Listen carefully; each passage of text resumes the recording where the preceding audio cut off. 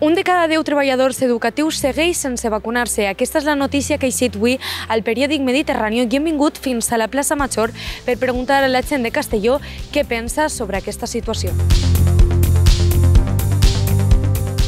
¿Qué piensas al respecto de que uno de cada 10 mm, trabajadores educativos no esté vacunado?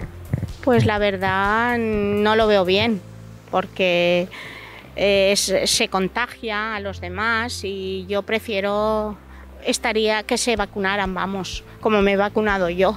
Pues me parece fatal porque resulta que están con niños, los niños también están pues, a espera de que las- los vacunen, pero de todas formas deberían de estar todos, profesores, médicos, o sea, enfermeros y de todo. Pues a ver, eh, no me parece mm, del todo normal o bien porque en realidad se deberían de vacunar todos ya que están en contacto directo con niños, pues al menos y ellos pues todavía no están vacunados, que sean ellos los que protejan a los niños.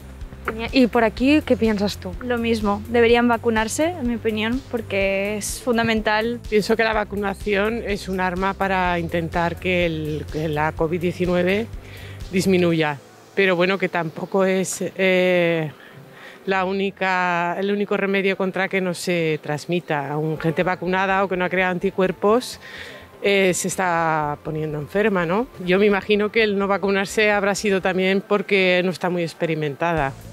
Imagino que ahora con lo de los certificados COVID y, y todo lo que se está generando, pues cada vez serán más los que se vacunen. Pero no creo que solo sea por no vacunarse que los niños se estén contagiando. A totes les persones que hem entrevistat ens han dit el mateix, que els treballadors educatius deurien d'estar vacunats.